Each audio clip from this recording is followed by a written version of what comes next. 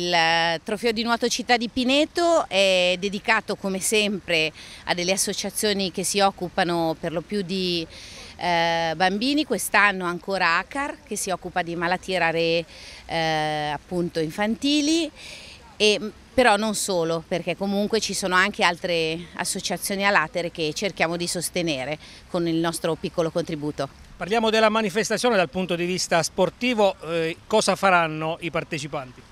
Beh, I partecipanti 100 quest'anno si, mm, si, vedranno impegnati in quattro percorrenze eh, di nuoto, ci sarà una eh, 12 km che noi chiamiamo la doppia, ci sarà una percorrenza classica che è una 6 km, una percorrenza mezza che vede 3 km e quest'anno una novità che è la 1500 sprint, eh, proviamo una percorrenza corta sotto costa per dare possibilità a tutti di provare l'open water. Anche quest'anno ci riproponiamo con questa nostra iniziativa che vuole mettere l'uomo a confronto con la natura e con il mare e vivere questa esperienza, ma deve essere per tutti sicura.